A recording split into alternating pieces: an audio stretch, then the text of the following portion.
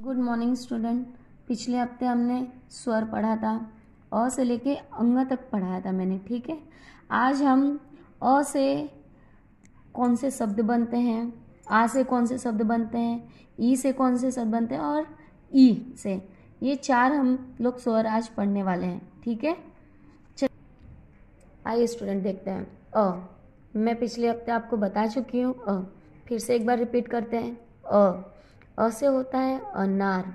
ये रहा आपका अनार का चित्र। और हम अब ये सब लिखने वाले हैं अपनी नोटबुक में। ये देखिए, मैं रीडिंग कर रही हूँ। आप भी मेरे पीछे रीडिंग करिएगा। क्या लिखा है ये? अब अ मर अमर, अजय अजय अ दरक अदरक अ जगर अजगर। ये हो गए हमारे अ से बनने वाले शब्द ठीक है?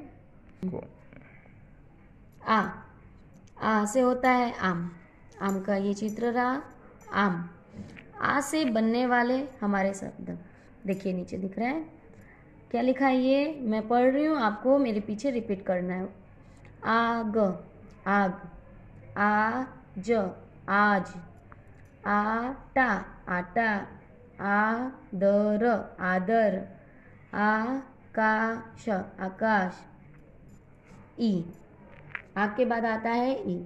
ई से होता है इमली। ये इमली का है चित्र। ई से बनने वाले शब्द, देखिए इत्र इत्र। इतना इतना। इलाज इलाज। इनाम इनाम। इतवार इतवार। ई। ई से ईख। गन्ना होता है ना? वो, ये देखिए, इसका चित्र। अब इससे बनने वाले हमारे साथ। ईद ईद। ई शवी ईश्वी। आ, ई, ना, आईना। मीठाई मिठाई।